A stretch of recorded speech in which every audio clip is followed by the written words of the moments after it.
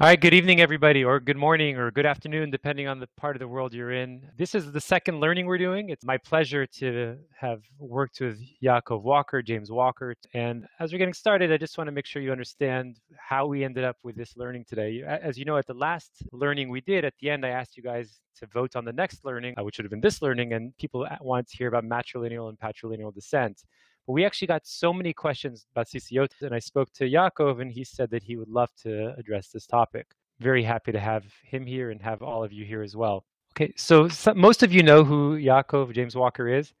He's not going to brag about himself, so I will do the bragging for him. He was the translator, is the translator of a book called Esther Explained.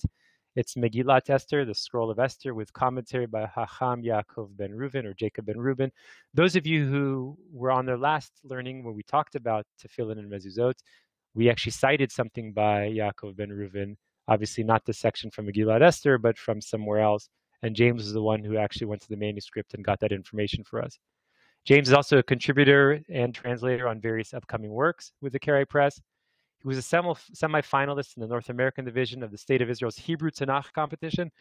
And if I recall correctly, there were 12 people who went to New York for this final competition. And Yaakov was one of those 12 people. He's a lay prayer leader at Temple Israel, the largest conservative synagogue in the Carolinas. And he's also a Mesharet, uh, which is an assistant spiritual leader at the Hebrew family of Charlotte. Just a reminder for everybody, if you want to support Karaite Jewish research, you can donate through a bluethread.com, through the KaraitePress.com. You can buy a book from the Karaite Press. All of this money goes to enhancing other Karaite works. All of our paperbacks are $25 or under. Okay, so without further ado, I'm actually going to turn this over to Yaakov.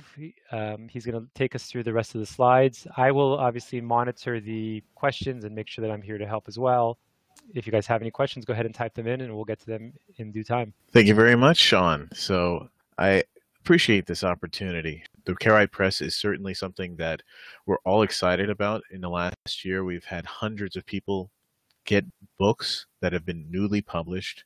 For example, Esther Explained. We're going to go into some other examples of books that this learning hopefully might show um, new relevance for uh, in your life as you grow in your knowledge of the ways of the Holy One of Israel. Let's get started with the virtue of lifelong learning. And of course, a virtue in the highest level is a blessing. So we definitely want to um, give thanks to God who gave us the Torah. Um, leolam emet Adonai tiftach ufi yagid tehilatecha. We give you thanks, O Lord, uh, for your righteousness which lasts forever. Give me, O Adonai, the words that I would speak truth to your people.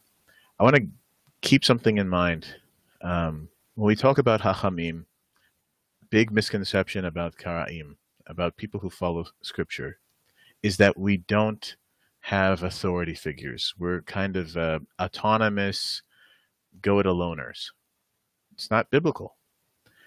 It says in Proverbs 9, 9 through 10, give instruction to a Hacham keep that word in mind, a wise man, a wise person, and he will yechkam, he will become yet wiser. Impart knowledge to a righteous man, a sadiq, and he will increase his information.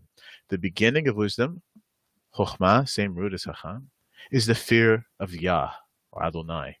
And the knowledge of holy things, da'at kedoshim, is understanding. So when we go into this perspective, we're going to study holy things, and it is not meant to make you money. It's not meant to make you more popular. It's meant to draw you closer to your creator. That's true understanding. That's true wisdom and understanding.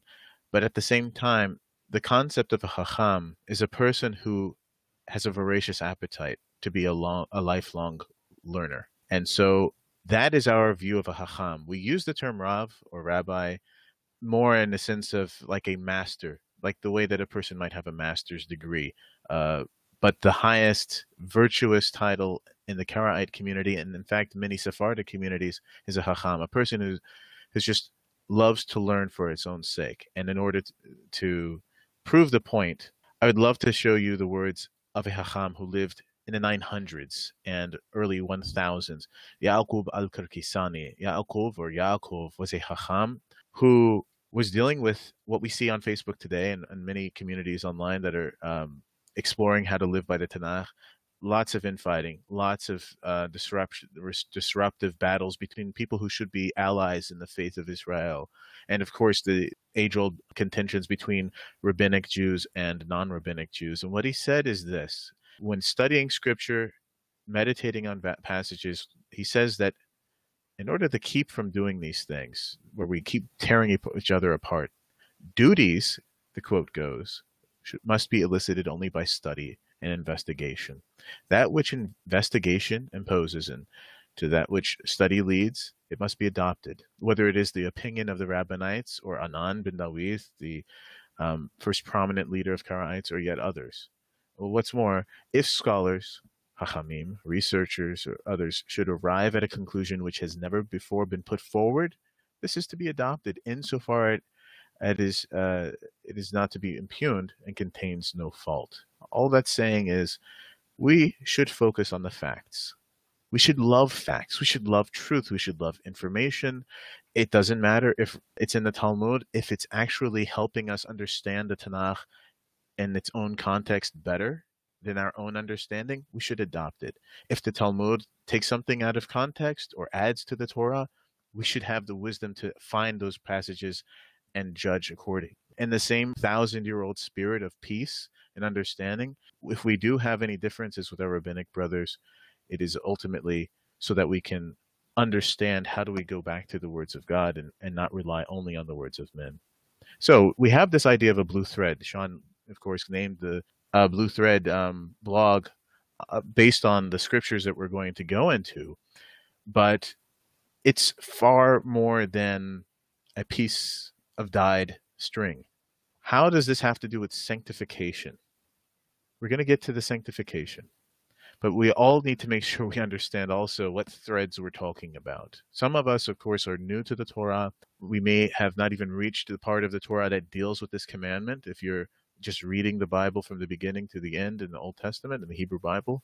Join me as we just return to the words of the Creator and look at Numbers 15, Bamidbar, the book of what happened while they were in the desert. Greeks called it uh, basically Numbers. Numbers 15, 38, 39, and 40. That's the core of what we're studying. We give thanks to God for the giving of the Torah. Let's read the verse. It says, "The b'nei Yisrael, speak unto the children of Yisrael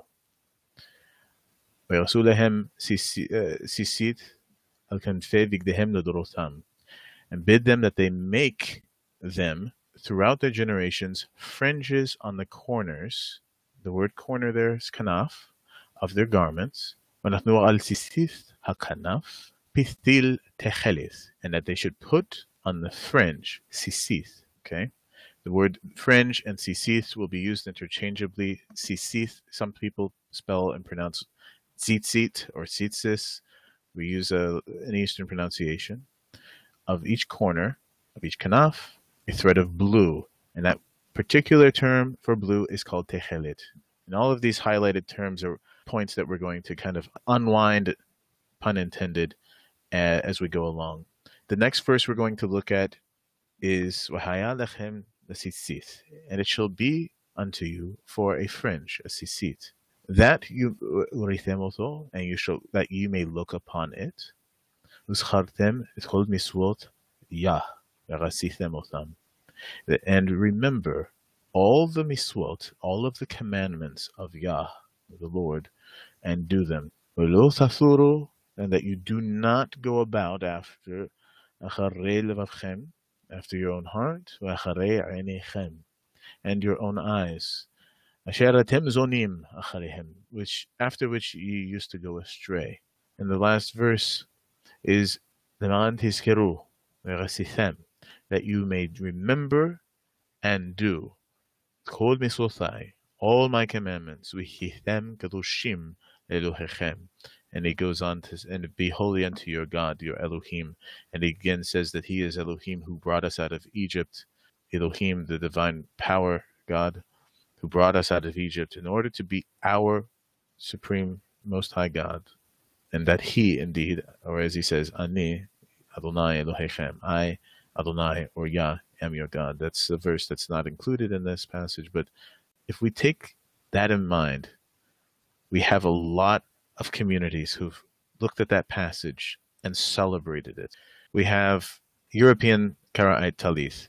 As you can see, the Talith is very different than what many people consider a Talith in a uh, who, who belong to a Western synagogue, for example. Uh, the Talith is on a garment that doesn't look particularly familiar uh, in this part of the world or in this time in history, and yet you can see, notice the blue fringes that you find uh, along with white fringes.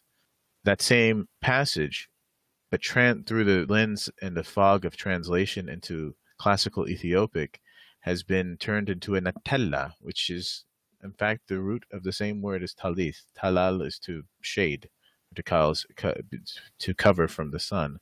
And so here you have fringes, and here instead of it being a color, a particular color along the of the corner fringe, the word kanaf is sanaf in Ethiopic, and so that is the hemline.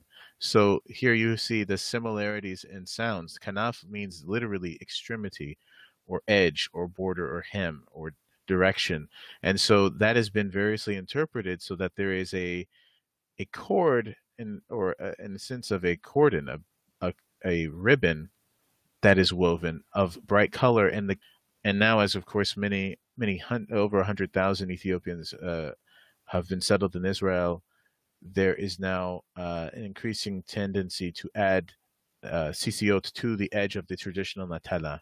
This is my wife, Leah, who's wearing a hand woven natela that was given to us by our friend, uh, a man and his wife, uh, who are millennials who faced persecution in Addis Ababa for being Beta Israel and they helped uh, we helped them get asylum status here as a gift for that. They have a tradition of actually uh, hand weaving the natela it's not something they buy in a store. Colors happen to be the colors of the ethiopian flag to which we added a sephardic style um, seats with blue thread. And so this is her what she wore to um, services um, recently and of course filmed on a common day we also see our Samaritan brothers. The northern kingdom um, had many uh, people in the land of Shomron uh, that were priests that intermarried with Assyrians, according to the Tanakh, who engendered a controversy regarding their changes that they introduced in the into the Torah to um, oppose the building of the temple, but having a fringed garment draped over the high priest, the Kohen Gadol, um, alone with no blue threads, but with blue stripes in it, seems to be again another mixture of how over time, as slight variations of understanding the Torah developed, that certainly a fringe garment was a part of the heritage of all communities of Israel, um, but not in exactly the same way. And a beautiful ending picture on this section, section out of the diverse tapestry of approaches to this commandment are this picture of two uh, um, young uh, celebrants in Israel and in a Beit Knesset among the Karaite Jewish community, and you see not only uh, a young uh, lady or uh, a girl holding a Sefer Torah with her head covered, and a young boy as well, but most importantly that the Talit has, as every Karaite synagogue in the world currently does have, from Israel to Daly City, uh, California, a distinct long uh, uh, tzitzit with blue mixed in each single tzitzit into each single fringe. As we progress from Eastern Europe to Samaria to Ethiopia to now Egyptian Karaites who live in Israel and America, there's a lot of consistencies here. We're not here to again um, find what's wrong, we would like to find what's what's right, and we could certainly see there's a lot that we have in common. I'd like to poll everyone, just out of curiosity. Um, how often do you wear sisiot? We'll give you uh, just uh, about 30 seconds here. And so we see that many people follow the, the tradition of wearing only during prayer and many people are also in the category of wearing them daily uh, and some are honest in saying that they virtually never never wear them if you ever hear about people wearing fringes every day not that's not something that's let's say most non-orthodox communities push very hard. Many people may not feel comfortable going outside of the their community and not wear them. So we're not being judgmental here. Um, we certainly saw that the winning position was having fringes on during prayer, not at all times. Karaites historically were divided about this as well. And the current practice among Karaites is often to don a talit, as their rabbinic colleagues do, only during prayer services. Um, first, it was out of persecution.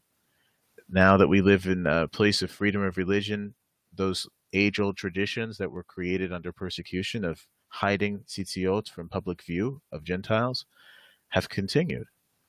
To me, I wear them every day. It's very personal to me. We have a photo of how do I wear them. I actually am an entrepreneur. I run a startup um, and I give lectures at, at universities. So I'm in, in, the public eye quite a bit. Um, and yet, as you can see, you can wear tzitziot even if you're trying it out in a way that's rather discreet.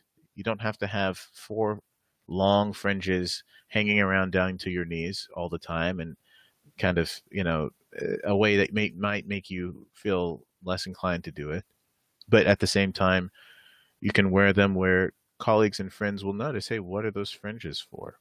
And I think that question of what are those fringes for, and as it happened just today at a at a business uh, convention, where someone says, "I saw your your talit was on," and uh, we started up a conversation, and the guy turned out growing up in Israel.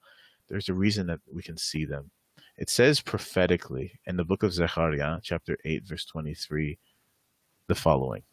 Thus says Yah Sevaot, Yah of hosts, in those days it shall come to pass that ten men shall take hold out of all of the languages of the nations, of the Gentiles, shall even take hold, not to the garment as the JP, old JPS says, but it says to the kanaf, the same word used for the corner or the edge of your garment, the location where tzitziot should be.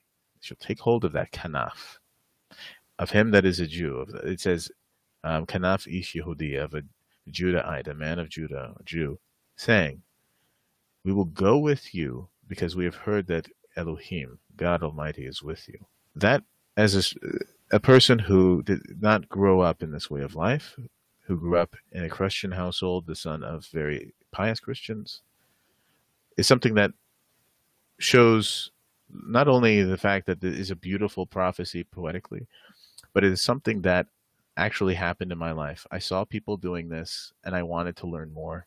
And here I am able to teach other people about the commandment.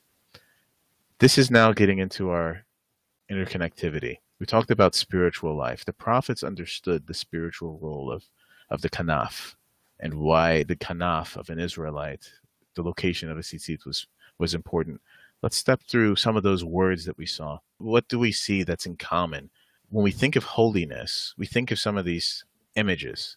If you look in closely, the tabernacle, beautiful place of worship that would prefigure the temple that we see so many chapters devoted to in the book of Exodus. When we think of holiness, we think of Shamayim, right?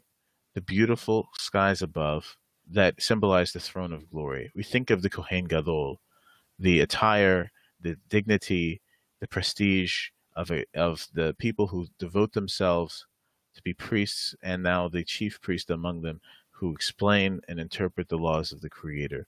And then, of course, here we have Techelet itself, uh, from our own Azrael Kautek, who is in Canada and has provided the original processor as much as she could find of deriving this color from plants what brings all of these things together? It's Techelet. Techelet is in all of these aspects. And if we look carefully, aspects of, of holiness, if we look at Parashat Terumah and we drop down a little bit, it says, okay, we think about offerings. Sometimes people think of these as very boring passages, but Terumah is about when they left, when Israel left Egypt, they were given gifts uh, and gold of gold and silver and jewels when they were rushed out of Egypt by the Egyptians. And so after a process of time, the opportunity came to give those back to the Creator in a, a very sanctified and uplifting way. One of those things was their source of blue dyed threads and fabrics. Techelet was to be used. And this was a grand collection for things that would be used, as it says in verse 25, verse 4 in Exodus. Blue, techelet, purple, scarlet, fine linen, goat's hair. These things will be crucial ingredients, or not ingredients, but materials and fabrics that will be used to make, as it says in the following chapter, the Mishkan, the dwelling place of the Creator, the tabernacle, to have curtains, a fine twined linen, and blue, techelet, purple, scarlet, the cheruvim, which are uh, a kind of uh, symbol of angels. The work of skillful workmen you shall make them. And says, after giving these curtains and all of the designs that basically will decorate the first place of worship built exclusively for the glory of, of God outside of a, a small altar, it says that you shall make a loops of blue upon the edge of one of the curtains. What you'll find many times is that petil, um, twisted cords, and techelet, again, are part of the mindset of the Israelite far before the commandment back in Numbers. They thought about that when they were weaving the designs of the tabernacle. And so it's, in a sense, democratizing something that was so holy that, again, Moses himself had received this vision of Techelet not only in the tents of the tent of meeting, but on the holy garments of Aaron his brother, and all high priests and all Kohanim for, that are offering service before the Creator for every generation to come. It says, You shall make in 28, verse 2 of the same book, holy garments for Aharon your brother, for splendor and for beauty. And they shall bind the breastplate plate by the rings thereof unto the rings of the ephod with a thread of blue. That's the first time or one of the first times that we see Petil Techelet. Petil Techelet, again, is a Pethal is for, to twist or inter, interweave. Here it is Techelet of all colors, not just kahol, which is the modern Israeli color for blue, but the word Techelet. Here you also see that not only are the, is there a breastplate, this metal rectangular shield with the 12 uh, stones, uh, gemstones that represent the 12 tribes of Israel in it, strapped up around the neck of the high priest, so to speak, or over the shoulders of the high speak with this basically giant tzitzit, uh, you know, this big blue thread or threads of blue, but it says you shall make a robe of the ephod of all blue. This uh, ephod is again kind of like the robe that we saw those high priests wearing, uh, the robe that we saw um, even in the traditional Karaite attire, uh, this lengthy kind of uh, um, uh, the upper garment of a flowing robe is called an ephod. And again, that will be made out of blue entirely, out of a techelet blue. So you would have had this in mind as an Israelite that this is the color of holiness. What we find here in a book that we'd love you to take a look at by Gabriel um, Wasserman. The Karaite Press just published it. It's called Royal Attire, Levush Malchut, on Karaite and Rabbinite beliefs. An excellent parasha by parasha guide on how we differ in our approach to the Torah. Take a look at the approach on the commandment of tzitzit. We'll just read um, briefly here, but emphasize some of these highlighted points. It says, at the end of chapter 15 of this book of Numbers, is written a commandment of tzitzit, tassels, or fringes. And it says, and the techelet string on the tzitzit. Here too, the Talmudists or the Talmudists, people who follow the Talmud as their source of understanding the, the, way, the will of God have invented something that the giver of the Torah never considered. They say that techelet is a green yarok dye, dyed with the blood of the chilazon, which was a kind of worm that is found in the cities near the sea, and that it cannot be found now.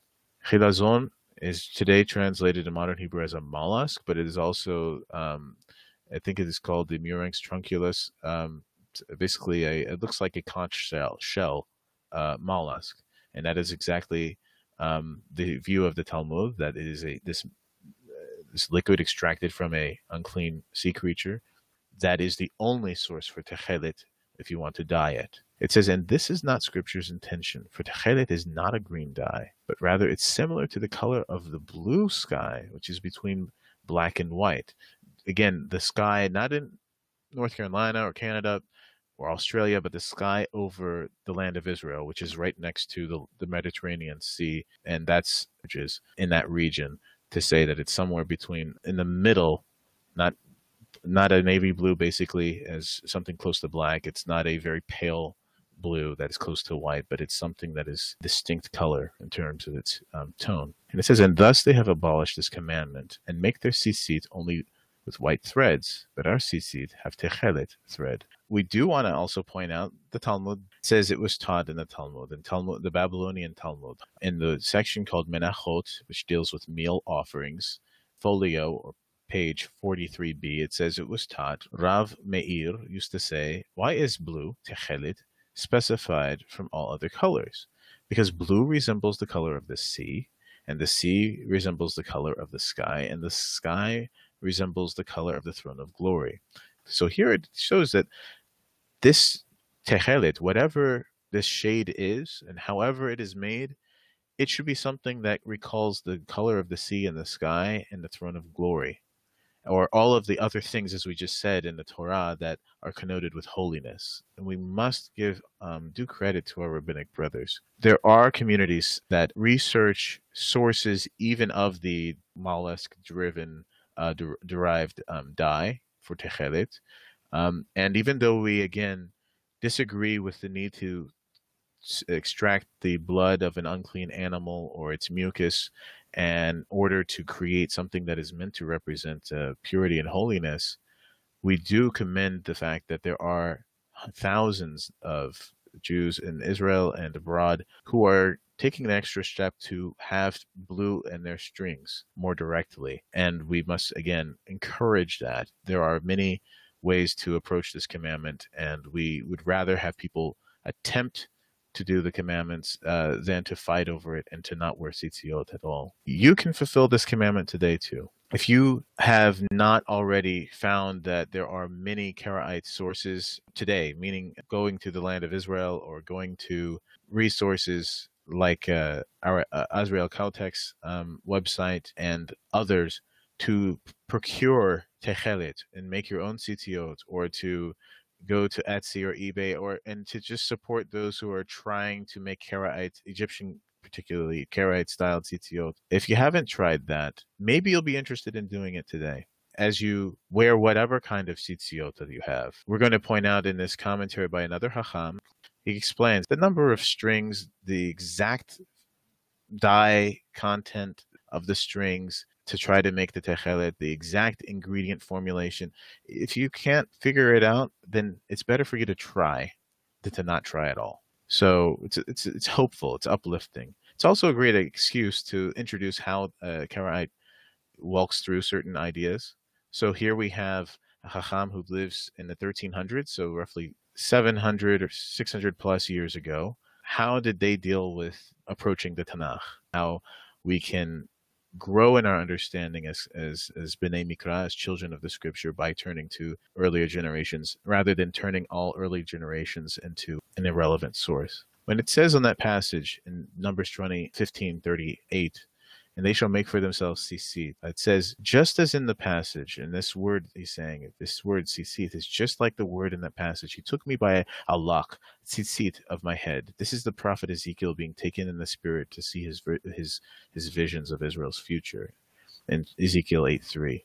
He says that that word tzitzit is referring to the hair like threads that remain at the end of a garment's fabric, which are called fringes. Spiritually, before we get into the weeds of it, what he's saying is, is if we kept reading the books of the prophets, this word tzitzit is also used when God takes a prophet by the head, as it were, and whirls him away to this vision of the future. And just as you see the fringes, think of that passage. Think of passages that are uplifting and inspiring like that.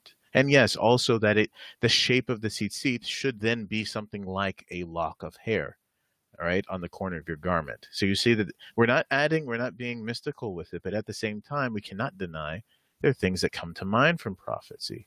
Grammatically, this word, uh, the morphology of the word tzitzit, is diminutive, just like the name for a night creature, a creature of the night. So if Li- Lila is the night and Lilit is a little night thing, a nocturnal creature. Many translations say a, an owl, for example, in the book of Isaiah 34. Well, that means seat seat is a diminutive. It's a mini seats, mini seats. You know what is a normal seats? The word seats, sade yot sade sofit, is used as the name of what is on the head of the high priest, where it says Kodesh Layah or Kodesh Ladonai, holy unto the Lord, or holy unto Yah. That was a plate that literally shone in gold, held together with twisted cords of blue, strapped around his head, and it's declared that this person is a holy man of God. So you have a mini version of that, four of them on your garment. That's what he's getting at in terms of teaching the grammar. Powerful things when you really look at that, because it says when you look at it and you move your heart away from these temptations, you will become kedoshim Elohechem. You will become holy. It says in its general sense, the meaning of tzitzit is something visual. So he's saying this word is so rich in its meaning that even as a verb, it says that it's similar to the Song of Songs, which says looking in at the windows, glancing through the lattice. The word glancing through is metzitz from the verb sats, to look up. Now, even in modern Hebrew, if you want to say a tool tip, like those little pop-up tips, if you don't know what an icon is, it call they call it a remez sats. Sats, same root as seat. It's a remez that pops up. It's a remez that you just kind of look at and it reminds you. Remez, I'm sorry, is a hint. It's a hint that you kind of look at really quickly. So that it shows you is to a Hebraic mind, tzitzit means many, many, many things. Something to look at. It's a little tzitz, this little plate that says, "Hey, I am holy too." It's also saying it's like the lock of hair that the prophets were kind of grabbed by uh, when whisked away in the visions of the Creator.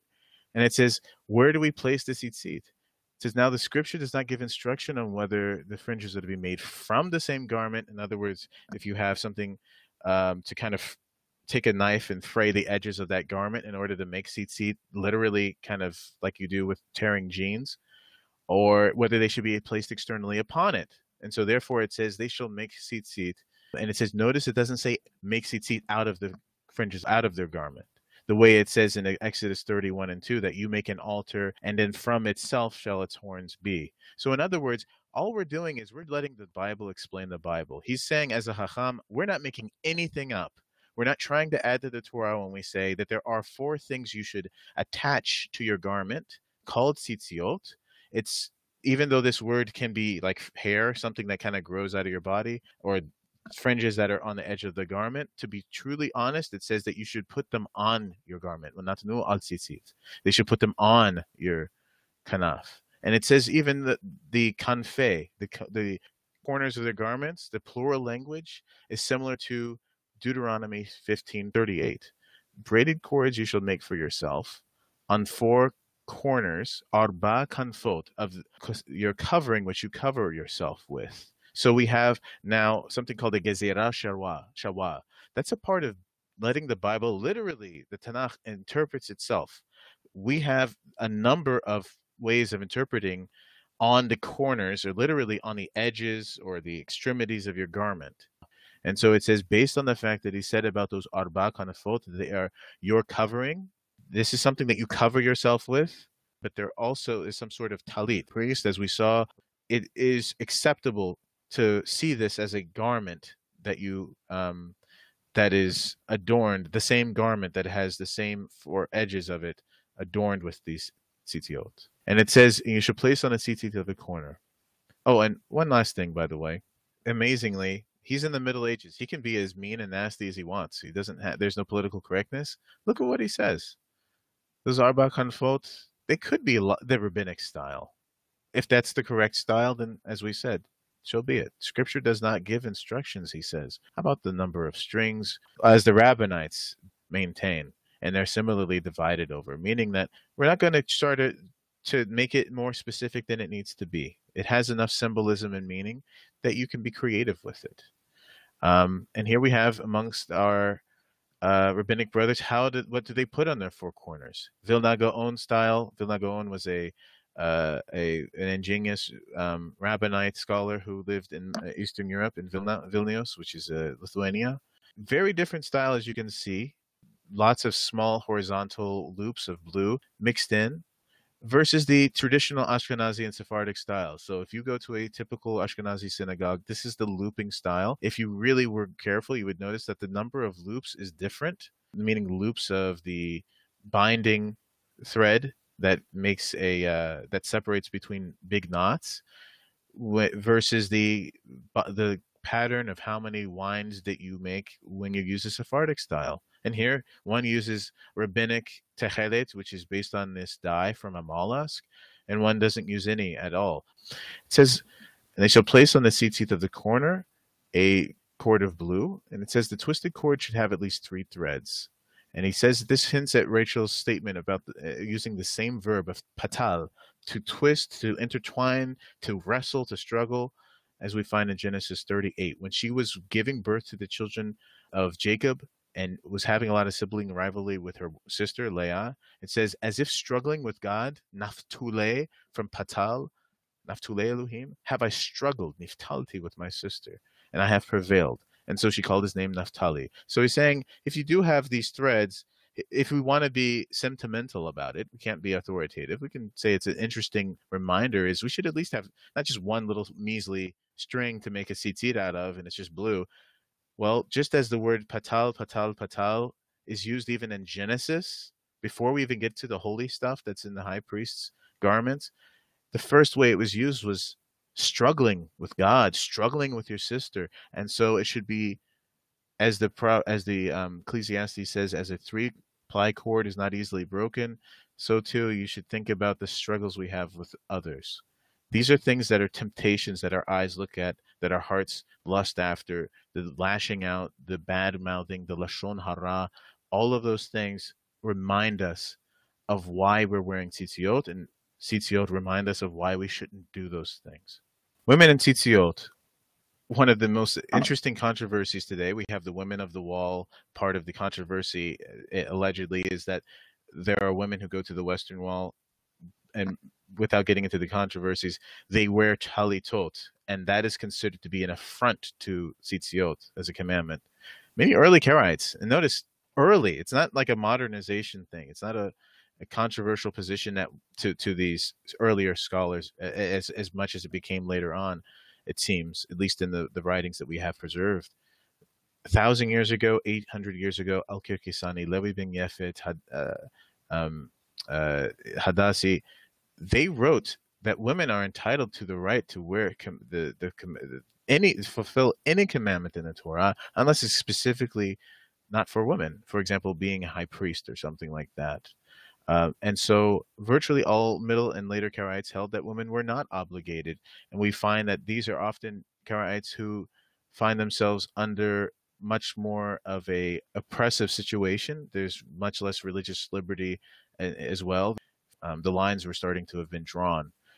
Also, we also know, of course, that our current chief Hacham, Moshe Firrouz, who provided, who remarried us uh, as a couple and who uh, sponsored our conversion as well as uh, been a great leader and is a, a great leader in Israel to this day in, in the Karai community, has said that no, we should go back to the way the Mikra says it, that this is for all Bnei Israel, all Israelites, and that women are obligated uh, to wear them.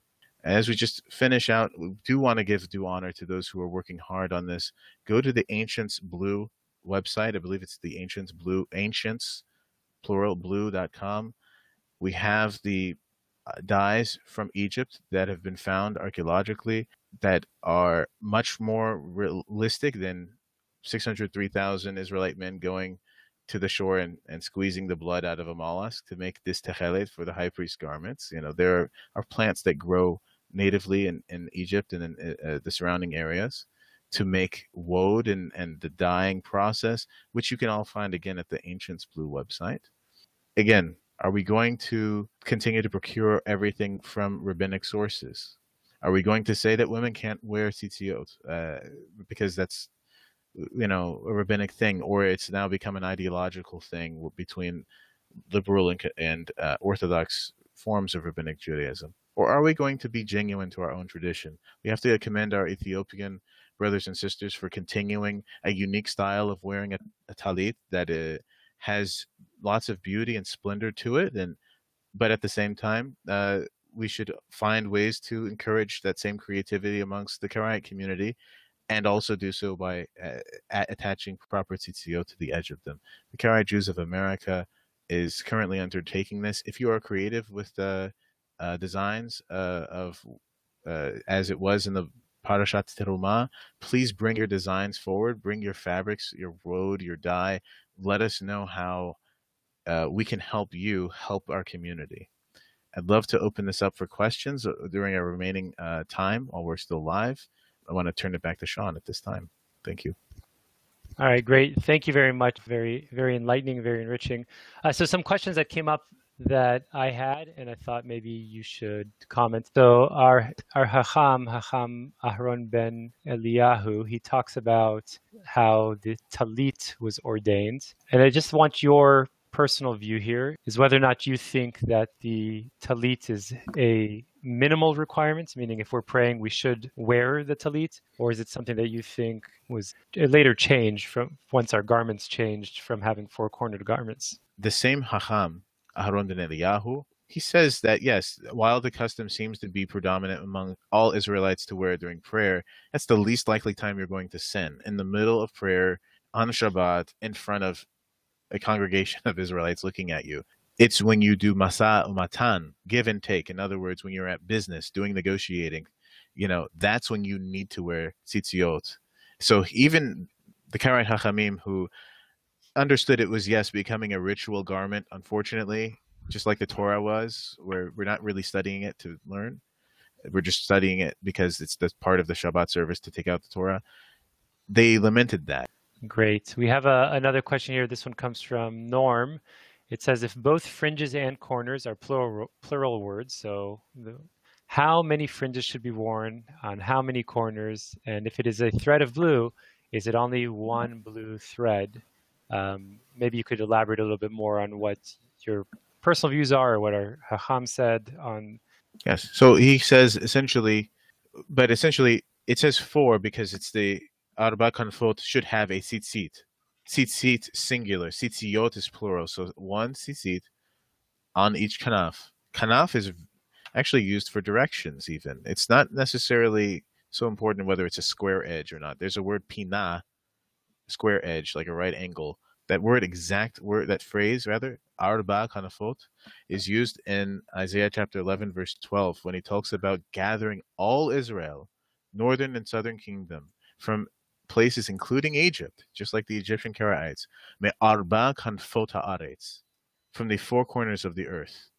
Not literally corners, of course. The earth is not square. That's why I'd say it's extremities. But there's a significance to four and corners in prophecy.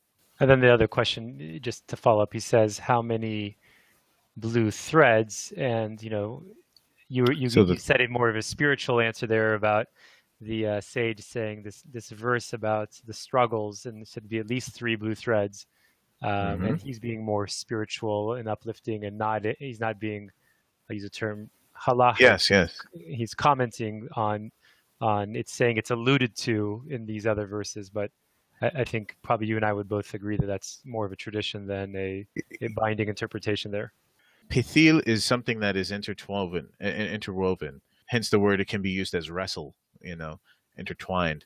If it, it can hold up a breastplate, think of a typical Karaite tzitzit. If you've ever seen one, it looks like a thick, kind of almost like a, a necklace, a gold necklace. It's interwoven. That's the same word, by the way, used. And I would say that would be a much stronger argument. The word pethil zahav is used when describing the gold chains that would be on the high priest as well. And just as if you look at a gold chain, um, not not one that has just the links on it, but a chain that is long strands of gold woven. You can't have just two of them, or it'll just untwist and it'll be two strands of gold. When you have three, you can braid. Anyone who has braided hair or braided strings or braided anything else uh, knows that that, as the book of Ecclesiastes says, a three ply cord, cord made of three threads, is not easily broken. I would say that that explains how you can have something that stays together as a tzitzit and doesn't completely unwind. That supplies an answer. And again, as he says, there is no specification on it, but logically, that is what we see in scripture as the word is used for something braided. All right. Any other questions? I do see a question that was asked and answered already on the attendee chat. The question was, where in scripture does it say that women are required? And the answer that in the attendee chat that was given was that basically this is an interpretation. The commandment is given to the children of Israel, uh, Bnei Israel, and uh, many commandments that apply to all of Israel are given to Bnei Israel, such as keep the Shabbat um, and things like that as well. So the Karaite perspective says we were made male and female in the image of God, unless it's something like the laws of menstruation or the laws of childbirth or something very specific to our gender that this is applying to all children. In fact uh, to all people whether you are an, ethnic israelite or whether you migrated to become a, a part of the people of israel. Encouraging as our chief hacham currently does women to take up tzitziot and, and do other things without compromise and i think uh, the, the the world of torah observance from reform to orthodox is really pining for that so I think that's the bigger picture as well. Okay, that's it. Thank you all for joining. Thank you again to Yaakov. Thank you everybody who came. Thank you. We uh, really appreciate it. This was uh, very informative, and I hope you found it practical and uplifting.